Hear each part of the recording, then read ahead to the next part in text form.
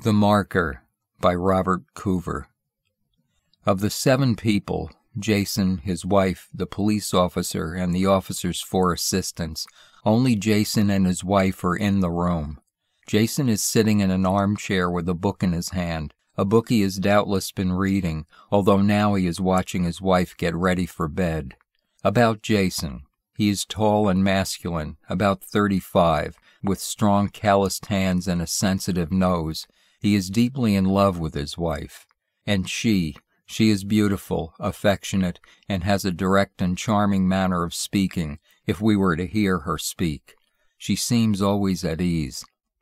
Nude now, she moves lightly about the room, folding a sweater into a drawer, hanging up Jason's jacket which he had tossed on the bed, picking up a comb from the floor where it had fallen from a chest of drawers.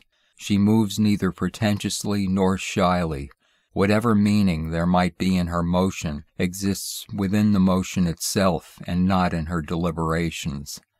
At last she folds back the blankets of the bed, which is across the room from Jason, fluffs her short blonde hair, crawls onto the fresh sheets on her hands and knees, pokes gently at the pillows, then rolls down on her back, hands under her head, gazing across the room at Jason.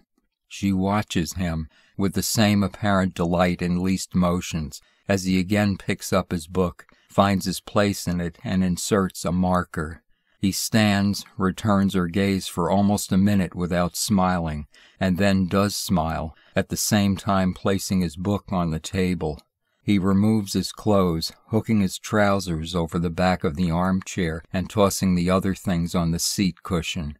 Before extinguishing the light behind his chair, he glances across the room at his wife once more, her tanned body gay and relaxed a rhythm of soft lines on the large white canvas of the bed. She smiles, in subtle recognition perhaps of the pleasure he finds in her. He snaps out the light. In the darkness, Jason pauses a moment in front of the armchair. The image of his wife, as he has just seen her, fades slowly, as when, lying on a beach, one looks at the reflection of the sun on the curving back of the sea, then shuts tight his eyes, letting the image of the reflected sun lose its brilliance, turn green, then evaporate slowly into the limbo of uncertain associations, gradually becoming transformed from that of her nude body crackling the freshness of the laundered sheets to that of beauty, indistinct and untextured, as though still emerging from some profound ochre mist, but though without definition, an abstract beauty that contained somehow his wife's ravaging smile and musical eyes. Jason, still facing the bed, walked steadily toward it, his right hand in front of him to feel for it in the dark. When he has reached the spot where he expects the bed, he is startled not to find it. He retraces his steps and stumbles into what? The chest of drawers. Reoriented now by the chest of drawers, he sets out again and, after some distance, touches a wall. He starts to call out to his wife, but hears her laugh suddenly. She is up to some kind of joke, he says to himself with a half smile. He walks boldly toward the laugh, only to find himself, quite by surprise, back at the armchair. He fumbles for the lamp and snaps the switch, but the light does not turn on. He snaps the switch several times, but the lamp definitely does not work. She has pulled the plug, he says to himself, but without really believing it, since he could not imagine any reason she would have for doing so. Once again, he positions himself in front of the armchair and crosses the room toward the bed. This time, however, he does not walk confidently, and although almost expecting something of the sort, is no less alarmed when he arrives at not the bed, but a door. He gropes along the wall, past a radiator and a wastebasket, until he reaches a corner. He starts out along the second wall, working methodically now, but does not take more than five steps when he hears his wife's gentle laugh right in his ear. He turns around and finds the bed just behind him. Although in the strange search he has lost his appetite for the love act, he quickly regains it at the sound of her happy laugh and the feel, in the dark, of her cool thighs.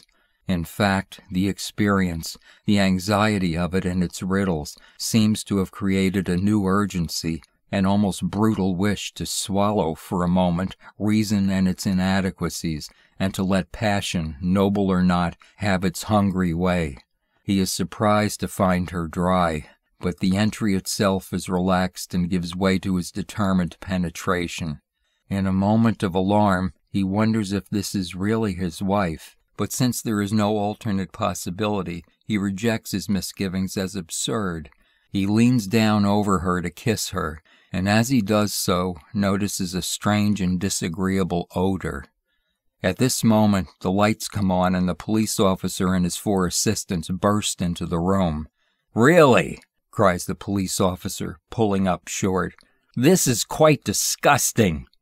Jason looks down and finds that it is indeed his wife beneath him, but that she is rotting.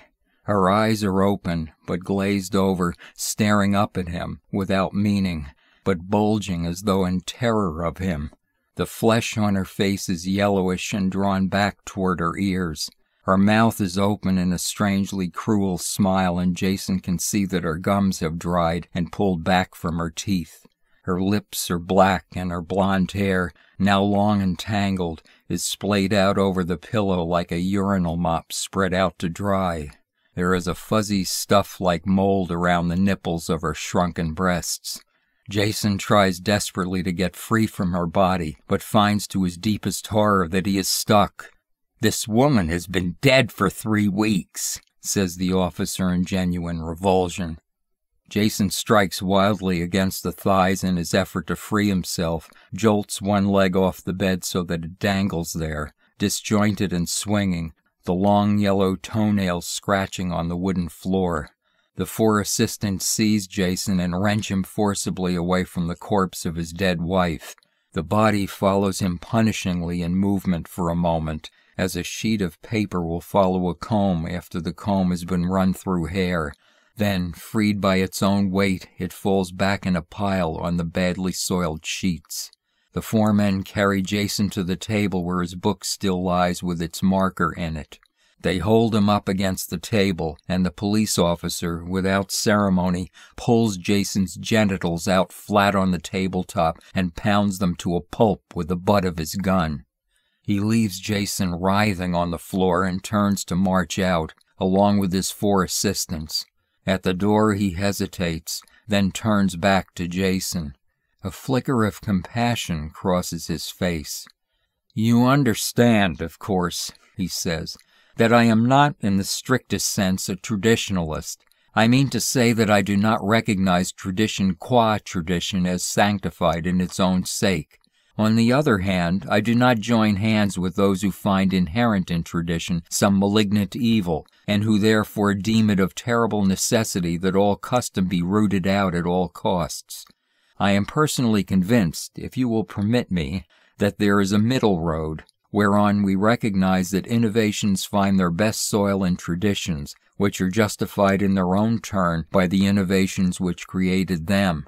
I believe, then, that law and custom are essential, but that it is one's constant task to review and revise them.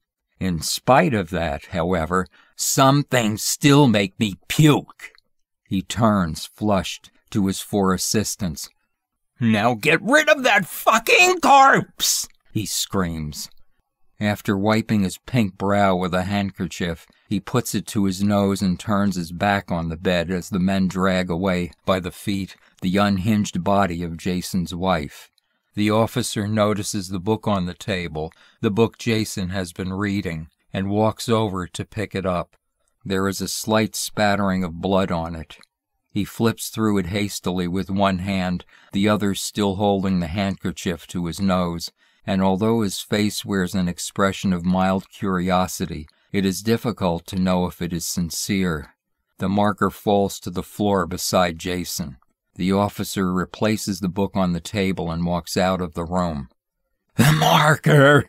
Jason gasps desperately, but the police officer does not hear him, nor does he want to.